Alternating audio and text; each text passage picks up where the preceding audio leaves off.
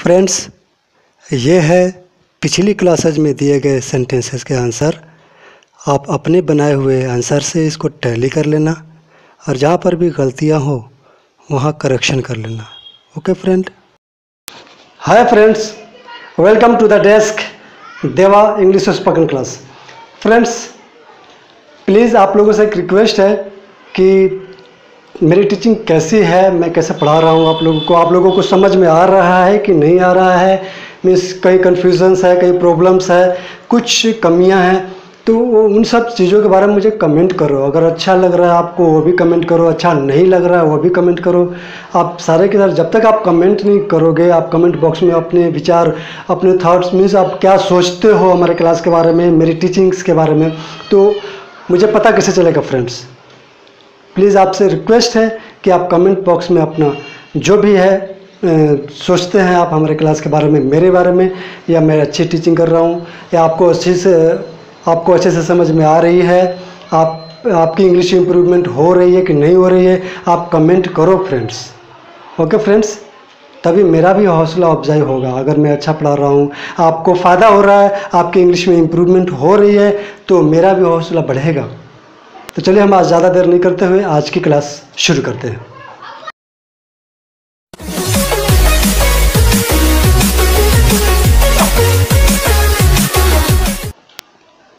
Friends अब तक हमने आपको पढ़ाया has have present has have का पास्ट मीन्स हैड और आज हम पढ़ाएँगे हैज़ हैव का फ्यूचर पास रहेगा, पास होगा, पास होगी, पास रहेंगे। इस तरह से सेंटेंसेस आते हैं। तो हम वो सेंटेंसेस किस तरह से बनाते हैं? चलिए आइए देखते हैं। ये रहा। हैज़ हैव का पास्ट फ्यूचर पास रहेगा, पास रहेगी, पास होगा, पास होगी। ठीक है फ्रेंड्स तो इसका मेकिंग फार्मूला है subject plus shall will plus have plus object plus others इतना आप ध्यान रखना दोस्त, कि कभी भी, किसी के भी फ्यूचर में हम हैज़ का इस्तेमाल नहीं करते हैं। कभी भी फ्यूचर टेंस का जब हम इस्तेमाल करते हैं तो उसमें हैज़ का इस्तेमाल नहीं होता है। ठीक है फ्रेंड्स इसमें हमेशा हैव लगेगा। और शैल और विल कहाँ लगता है, वो आप अच्छी तरह से समझ चुके होंगे। ठीक है फ्रेंड्स तो चलिए हम सेंटेंस बनाते हैं। मेरे पास एक कार होगी।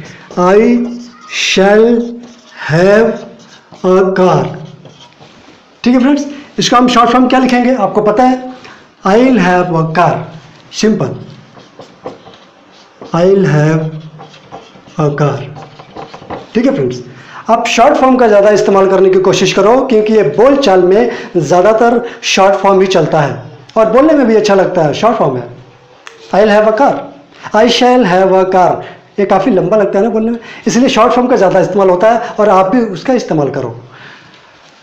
तो दूसरा सेंटेंस है, उसके पास बंगला होगा। He will have a bungalow. ठीक है फ्रेंड्स या short form he'll have a bungalow ठीक है फ्रेंड्स हमारे देश के पास काफ़ी धन होगा तो आर कंट्री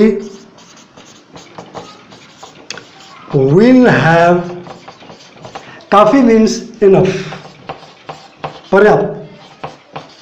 इनफ वेल्थ ठीक है फ्रेंड्स बिल्कुल सिंपल है। कोई भी कंफ्यूजन नहीं है इसमें।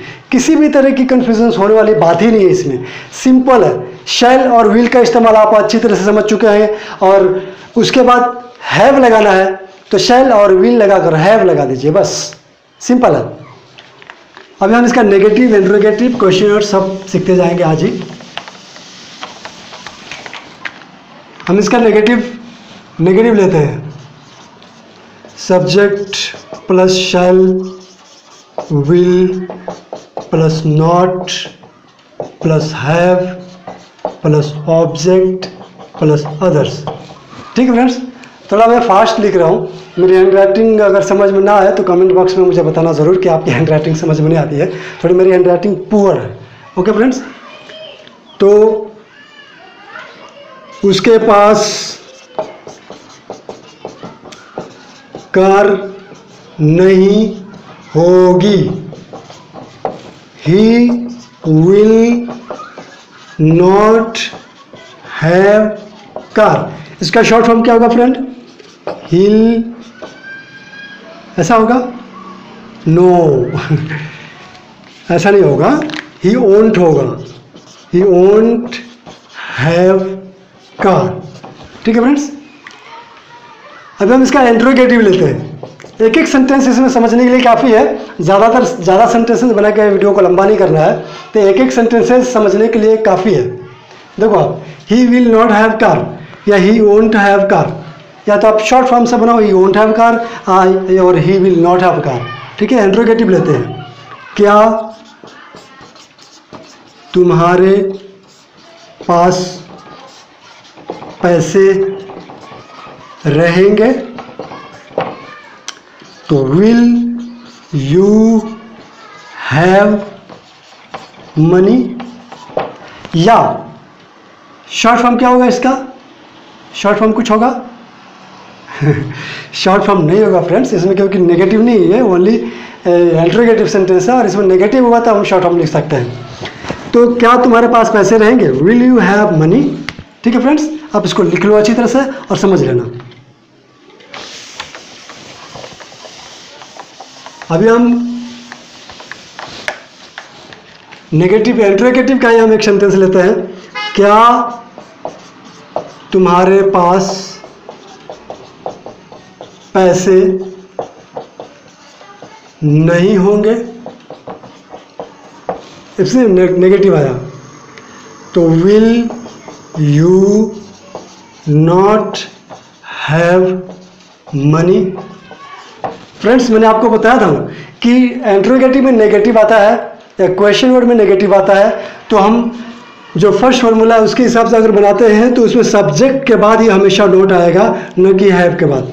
ठीक है फ्रेंड्स इसको अगर हम शॉर्ट फॉर्म में लेना चाहेंगे तो ओंट यू हैव मनी ठीक है फ्रेंड्स ओके तो इसको आप लिख लो अच्छी तरह से। एक सेंटेंस काफ़ी है समझने के लिए। फ्रेंड्स तो इसको आप लिख लो। अभी मैं क्वेश्चन वर्ड्स पे चलता हूँ क्वेश्चन वर्ड्स क्वेश्चन वर्ड्स का फॉर्मूला वही सेम इंट्रोगेटिव के पहले क्वेश्चन वर्ड लगा दो। तो उसके पास कार कब होगी? तो when will he have car है ना?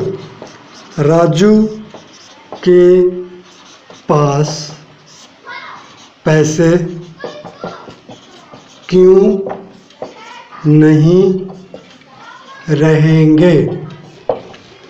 तो why will Raju not have money ठीक है फ्रेंड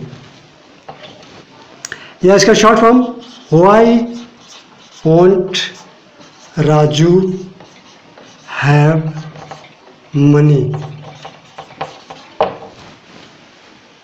ठीक है फ्रेंड समझ में आ रहा है ना फ्रेंड आपको? ये बिल्कुल ही सिंपल है और इसमें कुछ भी नहीं करना है, बस वही सब सारे के सारे making formula interrogative negative question और सारे के सारे मेकिंग फार्मूला एक ही है। बस हेल्पिंग वर्क चेंज होता है, बस। उसमें भी वही फार्मूला है। ठीक है फ्रेंड्स तो फ्रेंड्स आज के लिए इतना ही। तो फ्रेंड्स मैं आपसे एक बार फिर से कहना चाहूँगा कि हम क्लास के एंडिंग में जो कुछ भी सेंटेंसेस देते हैं आपके होमवर्क के लिए, आप उसको अच्छी तरह से बनाया करो, समझकर। और नेक्स्ट क्लासेस में जो हम उसका आंसर बताते हैं, उससे आप टैली ज़रूर किया करो। ठीक है फ्रेंड ये बहुत ही ज़रूरी है फ्रेंड अभ्यास बहुत ज़रूरी है। प्रैक्टिस मैक्स मैन परफेक्ट आप जानते होंगे अच्छी तरह से कि आदमी किताबें पढ़ के डिग्रियाँ लेकर नहीं सीखता, बल्कि प्रैक्टिस से सीखता है, काम से सीखता है, अभ्यास से सीखता है। आप किसी चीज़ की भी आप डिग्री ले लो इंजीनियरिंग हो या डॉक्टर की डिग्री हो, आप जब तक प्रैक्टिस नहीं करेंगे, आप जब तक प्रैक्टिस नहीं करेंगे तब तक आपको नॉलेज नहीं होगा। तब तक आप काम नहीं सीखेंगे। इसलिए हर हर फ़ील्ड में यही नुस्खा काम आता है। यही रूल्स होता है, यही लॉ चलता है। कि अगर आप प्रैक्टिस करते रहो if you are continue to practice you will definitely learn English ठीक है फ्रेंड्स तो जाते जाते मैं फिर से उन दोस्तों से रिक्वेस्ट करना चाहूँगा कि जिन लोगों ने अभी तक हमारा चैनल सब्सक्राइब नहीं किया है प्लीज़ उनसे रिक्वेस्ट है कि हमारा चैनल सब्सक्राइब कर ले और बेल आइकन को भी क्लिक कर दे। ठीक है फ्रेंड्स? अब तक के वीडियो देखने के लिए थैंक्स थैंक्स अलॉट धन्यवाद। फ्रेंड्स, ये रहा आपका आज का होमवर्क। इन सेंटेंसेस को आप अच्छी तरह से समझकर बनाना और नेक्स्ट क्लासेस में जो हम इसके आंसर देंगे, उसे आप टैली करना। ठीक है फ्रेंड? बाय